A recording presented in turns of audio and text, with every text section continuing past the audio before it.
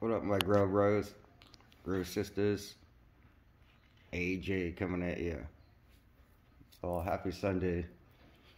Here's some uh, beans I was supposed to get from out of the country. And uh, custom said nope. Cut the bottom open, took the beans out cocksuckers. This is what it says.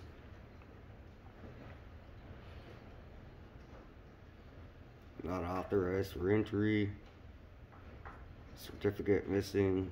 Lacks permit. Prohibited propagative material. Somewhere on here it says they uh, destroyed them, but I doubt that shit some homie from Customs be growing up some Durban poison this year. And so yeah, that's it. Can't win them all. Shit happens. AJ out.